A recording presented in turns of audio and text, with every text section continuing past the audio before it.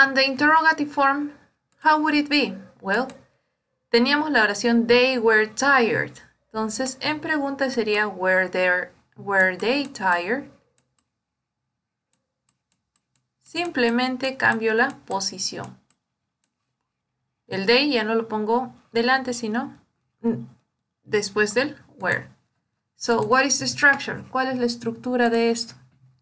In affirmative, we have the subject, I, we, you, they, he, she, it.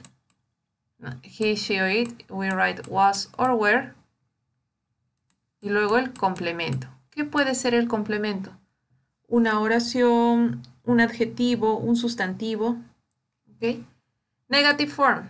Subject. Wasn't. Or weren't. Ah, la letra me salió horrible, horrible, horrible. Plus complement. Interrogative form. Bueno, ponemos el was o el were delante. Plus subject.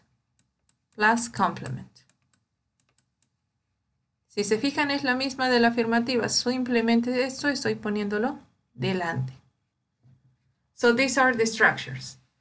Recuerden, cero estar en pasado, o sea, era, estaba, estuve, estuvimos. Pasado, no estuve, eh, estarán, porque estarán sería futuro. Estuvieron, estuvimos, estaban, éramos, eran. Todo esto significa was were. Okay?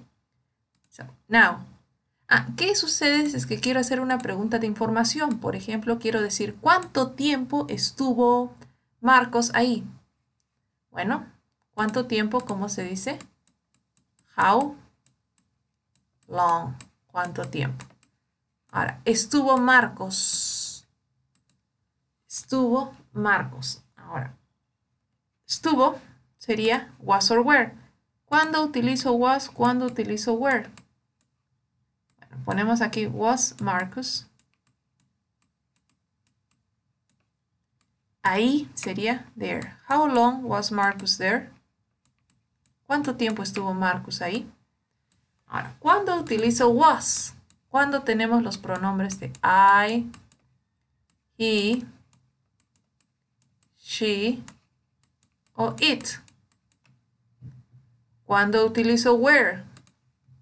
Cuando tengo los pronombres de you, we o they.